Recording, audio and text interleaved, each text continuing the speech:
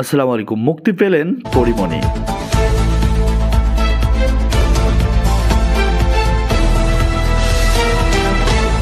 মাদকদ্রব্য নিয়ন্ত্রণ আইনে করা মামলায় ঢাকায় চলচ্চিত্রের আলোচিত চিত্রনায়িকা পরিমণি জামিনে কারামুক্ত হয়েছেন। বুধবার একে সেপ্টেম্বর সকাল সাড়ে নয়টায় গাজীপুরের কাশিমপুর কেন্দ্রীয় মহিলা কারাগার থেকে বের হন তিনি। কারা ফটক থেকে একটি সাদা গাড়িতে করে বের হতে দেখা যায় পরিমণিকে। এই সময় তিনি সাদা পোশাকে ছিলেন। এর আগে মঙ্গলবার একত্রিশে আগস্ট দায়রা জজ কে এম ইমরুল কায়েস শুনানি শেষে পঞ্চাশ হাজার টাকার মুসলেগায় পরিমণের জামিন মঞ্জুর করেন। তারও আগে গত বাইশে আগস্ট ঢাকা মহানগর দায়রা জজ কে এম ইমরুল কায়েস আদালতে পরিমণির জামিন আবেদন করেছিলেন। তার আইনজীবী মুজিবুর রহমান তখন আদালত শুনানির জন্য তেরো সেপ্টেম্বর দিন ধার্য করেছিল।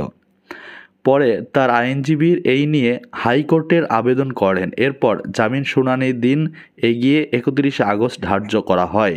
গত চারই আগস্ট সুনির্দিষ্ট তথ্যের ভিত্তিতে অভিযান চালিয়ে পরিমণিকে তার বনানীর বাসা থেকে আটক করে র্যাপিড অ্যাকশন ব্যাটালিয়ন।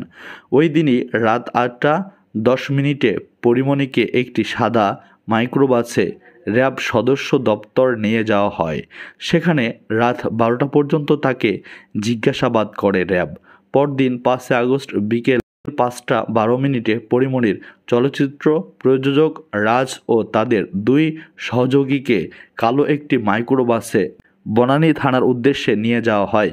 এরপর র্যাব বাদী হয়ে রাজধানীর বনানী থানায় পরিমণি ও তার সহযোগী দীপুর বিরুদ্ধে মাদকদ্রব্য নিয়ন্ত্রণ আইনে মামলা করে।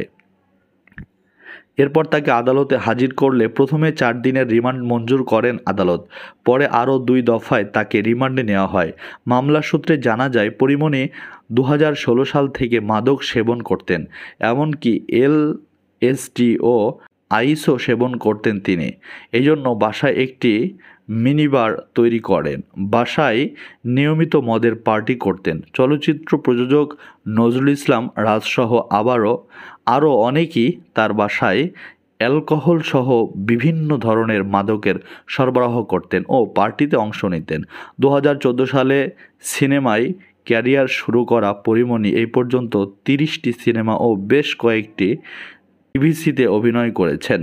পিরোজপুরের মেয়ে পরিমণিকে চলচ্চিত্র জগতে নিয়ে আসেন প্রযোজক রাজ।